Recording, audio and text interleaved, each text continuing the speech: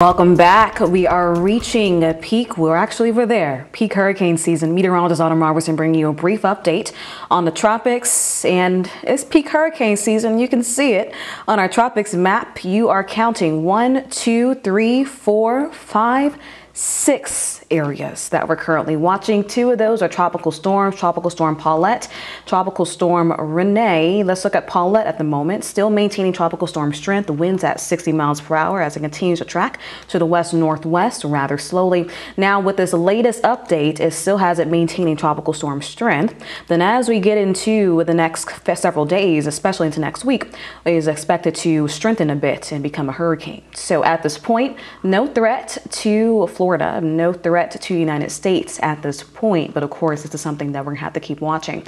Rene, on the other hand, is right behind Paulette, a little weaker, 40 mile per hour winds. It is expected to maintain tropical storm strength for at least the next couple of days, become a hurricane by this weekend, and then weaken just a bit back to tropical storm strength. So those two storms are currently watching, and then, of course, the wave train is still active. We are seeing one disturbance off the coast of Africa that has a high chance of developing developing in the next five days. And then one right behind it, a wave that's going to be heading offshore um, by this weekend that has a relatively low chance, but still something that we'll have to watch.